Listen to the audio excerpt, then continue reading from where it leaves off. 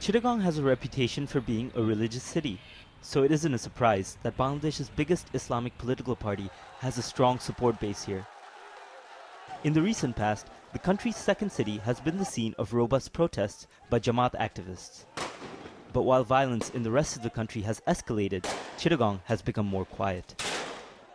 That's because police have been rounding up Jamaat supporters and throwing them in jail. Al Jazeera interviewed a Jamaat activist. Obaidur insisted we meet in a safe location. He was worried about being arrested. Nowadays, the people are a bit, uh, they're home arrest. I can say home arrest. And our people, they can't come out in the street. They can't uh, make any homely uh, uh meetings even. Uh, whenever they are gathered, the police comes and they say, yes, you are under arrest or they are, uh, if there is a protest in the street, they start shoot at sight.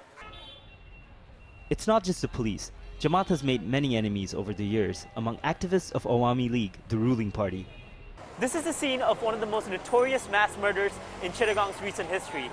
Back in 2000, a van carrying a group of Awami League activists was coming down that road when it was ambushed at this intersection over here.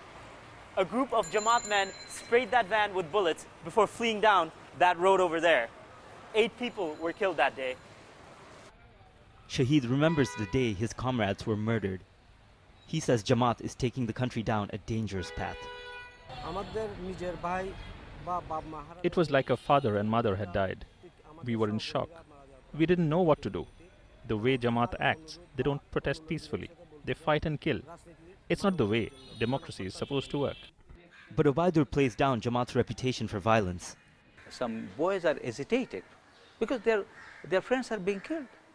So they try to show up their agitation. I don't say that uh, public buses should be burned, but these are incidents, accidents. These are not planned things. Members of Jamaat accused the ruling Awami League of trying to wipe out their party by putting its activists in jail and its leaders on death row. With the upcoming elections, Jamaat-e Islami could be fighting for its existence. Maher Sattar, Al Jazeera, Chittagong.